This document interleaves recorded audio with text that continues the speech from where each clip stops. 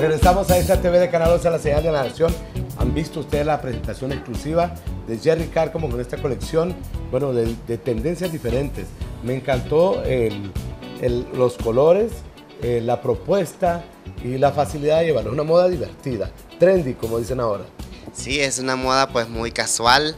eh, luego si usted le pone accesorios, si usted luego verdad de repente le puede poner unos zapatos diferentes, ya lo puede hacer trascender de tarde a noche o lo puede hacer trascender de mañana a tarde, que es importante porque ahora la ropa eh, debe ser reciclable.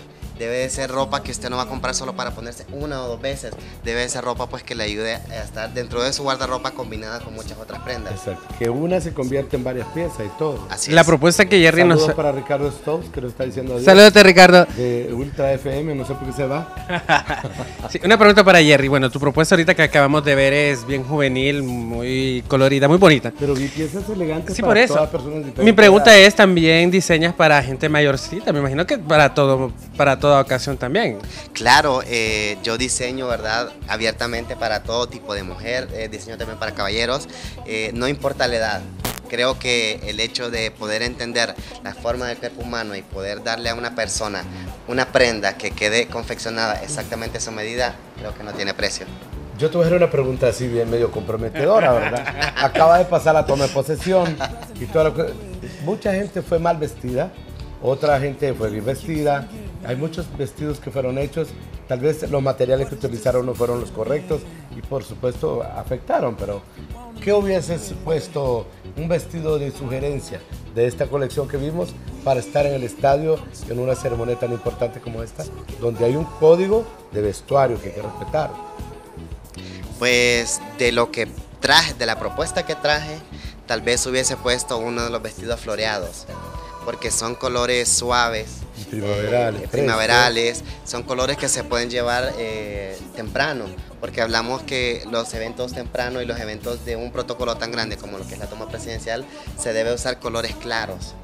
Tonos muy suaves en una paleta de lo que es el blanco hasta lo que es el crema, el beige, los kakis pero muy tenues.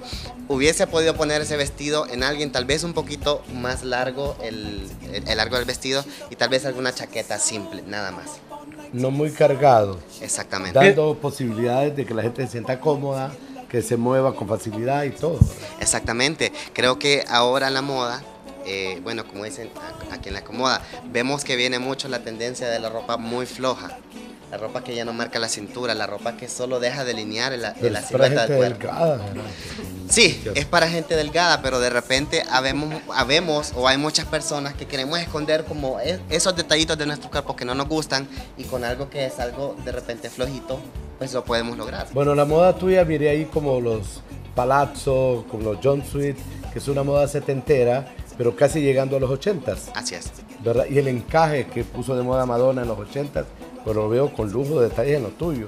Sí, creo que el encaje es una tendencia que viene tomando protagonismo desde hace un año prácticamente y creo que viene para quedarse. Antes la gente decía que usar encaje era de viejos. Sí, porque los vestidos de abuelita o las chalinas para ir a la misa. Las mortajas. Exactamente, sí. Las mortajas eran con... Sí, con- las, las hacen de encaje.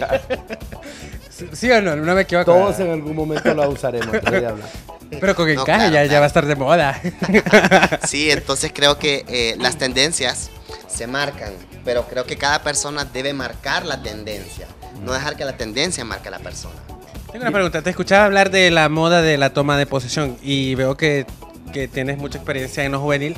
Creo que hubiera sido la persona correcta en haber vestido las hijas de la pareja presidencial porque las vestieron como señoras. A mí no me gustó, como doñitas. Sí. Sí, tenía, eh, son unas muchachitas, chavitas, jovencitas, muy bonitas las cipotas, pero las vestieron como doñas. Yo creo que ni a la mamá le hubiera quedado Si bonito me vestir. cierran el programa es por Sandra. no, aquí, aquí hay que Por eso, la ya que tenemos a alguien profesional de la moda, No, está bien. no sé si te fijaste en la ropa o los atuendos que utilizaron las muchachas. Sí, Son sí, adolescentes, las vistieron como observar. doñitas. Me recordaban a Mary Poppy. Mary, Mary Poppins. No, The Son of Music.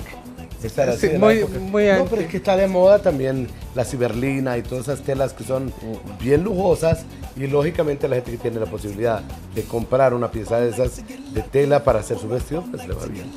Bueno, Sí. vamos a ver otras piezas que te gustaría. Ok, ok. Sigamos viendo moda de Jerry Cárcamo aquí en esta TV. Ya volvemos para seguir conversando. Menos chismes más diseño, ¿verdad? Ya volvemos.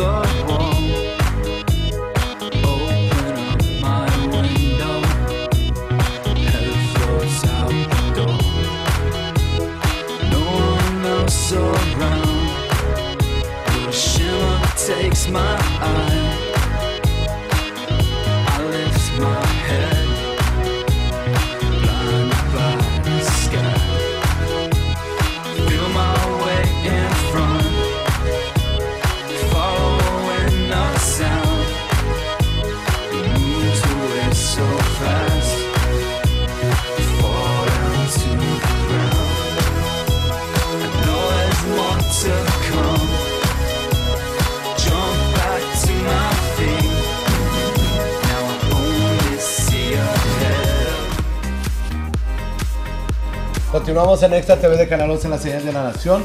Quiero contarles que Tigo es una empresa de responsabilidad social y con esta cuestión del bloqueo de teléfonos en centros penitenciarios también está de acuerdo y ya hicieron declaraciones que también van a participar en esto, que es para un control de la delincuencia en nuestro país. Lógicamente, mucha gente, eh, usuarios de las redes, Se afecta- quedaron afectados. afectados, pero este es un país así. Si lo hace, no le gusta. Y si no lo hace, tampoco no le gusta. Somos bien contradictorios. ¿Dónde estamos? Miren, la tribuna ha estado presentando videos de esos asaltos lugares públicos. Qué tristeza, ¿verdad? Que se acabe la violencia. Yo creo que se va a acabar la violencia cuando el, el país todo esté consciente de que tenemos que colaborar, cuidarnos, ser prudentes y por supuesto generar empleos. Este país necesita empleos, no de cuentos y que se faciliten a todo el mundo. A talentos como Jerry Cárcamo necesita oportunidad, pero ¿cómo la va a tener? Si usted no va a comprar ropa extranjera, si compra ropa de Jerry Cárcamo, vamos a tener grandes diseñadores al nivel de los grandes de Europa, para no decir nombres, o de cualquier país del mundo, porque ellos sí, sí consumen lo que el país produce. Exacto. O sea, consuman los chismes de Sandra para que vaya a Para escuchar que- a, a Juan José Origel. Usted ni sabe dónde está ese señor. los míos son más picantes. Son ¿sabes? picantes. Y son de acá, netos. netos. Igual, eh, yo bueno, he estado viendo lo- las etiquetas de tu ropa y es accesible, eso es muy bueno también, de, porque aquí los diseñadores yo creo que a veces no comprenden que no todos tenemos el alcance de ir a un diseñador, pero vi que tus precios son muy accesibles. ¿Cómo están los precios tuyos? Pues los precios son muy accesibles. Las prendas son de muy alta calidad. eh, están confeccionadas con telas eh, que les van a durar, no solo es para la temporada, ¿verdad? Porque muchas veces nos gusta algo y lo queremos de esas piezas que les tenemos guardada toda la vida. Les aseguro que ustedes compran una prenda Jerry Car como Be Cool y les va a durar mucho tiempo. Así es, la marca de él se llama Be Cool y definitivamente Jerry, pues es la oportunidad. No sé si nos, nos quieres contar dónde te podemos localizar, dónde te podemos seguir, en el Facebook, en el Twitter, dónde te seguimos. Ok, bueno, eh, me pueden encontrar en lo que es Facebook como Jerry Cárcamo. eh, pueden encontrar eh, la marca Be Cool, la pueden buscar como Be Cool Store en Facebook. eh, me pueden encontrar también en Twitter y en Instagram como arroba Jerry Cárcamo. Ahí pueden ver, ¿verdad? Casi todos los diseños que, que he producido desde que empecé. Hay varias colecciones. Inclusive si alguien quiere que se le haga algo especial para él, se le puede hacer, no necesariamente tiene que comprar algo ya hecho. Pongámonos de pie, porque el programa ya nos están diciendo que nos vayamos, que no nos van a cortar al aire. Pero no crea que es el dueño del canal, es un metiche por ahí que nos diciendo cosas, ¿verdad? Bueno, Jerry, te deseo muchos éxitos. Gracias. Vamos a continuar siguiéndole la carrera a Jerry Cárcamo para que ustedes lo conozcan, lo contacten. O sea, usen eh, piezas porque hay piezas lindas. Te Gracias, gracias, Calidad, gracias. de verdad. Ante todo, Sander, gracias, Gracias, por acompañarnos. Puedes venir otra semana y seguimos chambeando. Vamos a ver. Además, pero- nos estaremos viendo hoy en la noche en, la- en Historias de Oficina. Estamos en Teatro del Renacimiento a las 7 y media de la noche. La entrada cuesta 100 lempiras, dos historias por el valor de 100 lempiras. Bastante. Muy bueno, Un se van a divertir. Y un texto delicioso, definitivamente. Gracias, Jerry. Un Felicidades. placer por todo. y gracias por haberme invitado, ¿verdad? Me alegra mucho que apoyen el talento nacional. así como yo, ¿verdad? Hay muchas personas que en realidad tienen mucho talento, pero no tenemos eh, la capacidad para publicitarnos, ¿verdad? Y a veces los medios para podernos dar a conocer. Y eso lo agradezco mucho. Ok, bueno. Sandra, la última palabra rápido. No, sí. 30 ¿Qué? segundos para decir adiós. No, muchísimas gracias por la invitación y a ver si estoy la otra semana, pero con chisme, perdón. Vale, pues dele. Perfecto. Nos vamos. Esto ha sido extra por el día de hoy. Quiero agradecerles el placer de su atención. Recuerden, Honduras es primero. Ayudar, ayuda. La vida es una cadena de favores. Hoy por ti, mañana por mí, dice el refrán. No lo olvide. Nunca se sabe. No lo dijo Chelato, en la vida real lo dijo. Así que nos vemos. Gracias. Soy Miguel Caroleiva y esto ha sido Extra TV. La próxima semana, nominaciones de los premios Extra. Espero que les gusten los que salen nominados. Bye, bye.